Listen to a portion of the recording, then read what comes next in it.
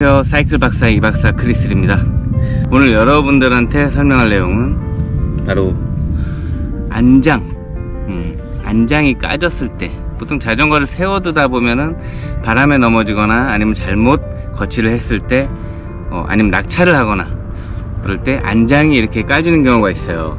지금도 보시다시피 다른 면은 거의 새 건데 이 부분이 까져 있기 때문에 굉장히 보기가 싫고 정이 떨어지는 경우가 있죠 이럴 때는 그 안장을 바꾸기보다는 수리하는 방법이 있습니다.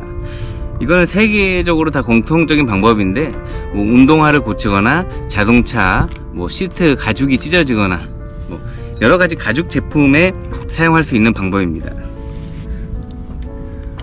먼저 알리익스프레스를 검색하셔가지고 이런 가죽 보수 제품을 하나 구입하세요. 한 4,000원에서 5,000원 정도 작은 사이즈는 1000원에서 2000원 정도로 예상이 되고요. 그리고 칫솔 하나 준비하시고요.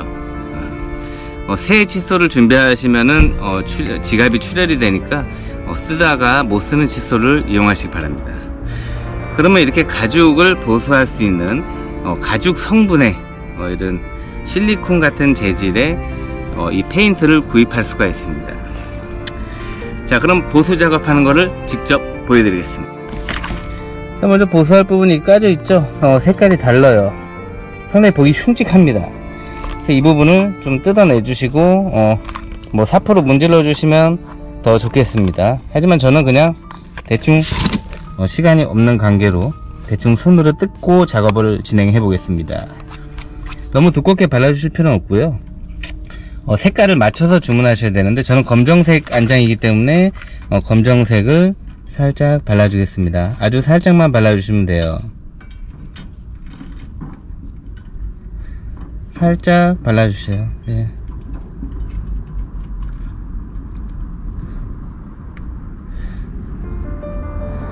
자, 이러면 끝난 건데요. 어, 좀 더 불안하다 그럼 좀 더 한 번 더 발라주시면 됩니다.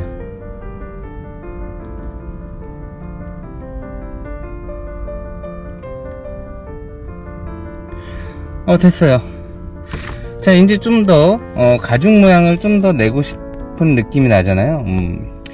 그러면 손으로 약간 이렇게 쓱쓱 해주면 되는데 어, 손에 묻으면 상당히 불쾌하기 때문에 어, 뭔가 다른 비닐 장갑이라든지 그런 걸 이용해서 했는데 저는 이 치약 뒷부분으로 살짝 이렇게 밋밋하게 어, 보수 작업을 해주시면 됩니다 그럼 지금 이렇게 깔끔하게 보수가 되어 있는 모습 보이시죠? 아, 손으로 할게요. 아, 귀찮아. 짜증나. 네, 손으로 그냥 할게요. 어.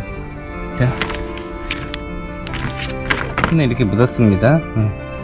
자, 이러면 보수가 됐어요. 어, 이러고, 어, 하루 정도만 자전거를 안 타시면은 바짝 말라있는 그 가죽 성분에 이게, 어, 입혀졌기 때문에 기존 가죽하고 큰 차이점을 못 느끼실 겁니다. 자, 여러분도 이제 안장이 찢어졌다 그래가지고 너무 상처받지 마시고요. 이렇게 보수해서 쓰는 건 어떨까요? 지금 원래 작업이 한참 전에 끝냈는데 어, 컨텐츠 시간을 위해서 지금 시간 끌고 있는 거예요. 어. 제가 미술적 감각이 좀 없어가지고 그런데 이거 좀 잘하시는 분들은 더 이쁘게 어, 칠하실 수 있을 겁니다 아씨 좋습니다 좋아요 어. 이렇게 잘 놔뒀다가 다음날 타시면 됩니다 마음에 드세요? 네, 이렇게 타시면 돼요 멋있죠? 음.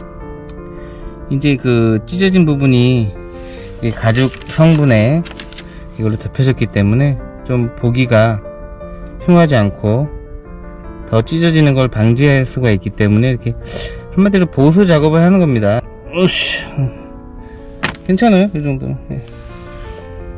여기까지만 하겠습니다. 아 손에 이렇게 묻었네. 아씨. 어떻게 재밌게 보셨나요? 어. 여러분들도 뭐 찢어진 안장이라든지 뭐 가죽 있으면 이렇게 보수해 주시면 됩니다. 어, 지금까지 안장 가죽 보수의 크리스리였습니다. 감사합니다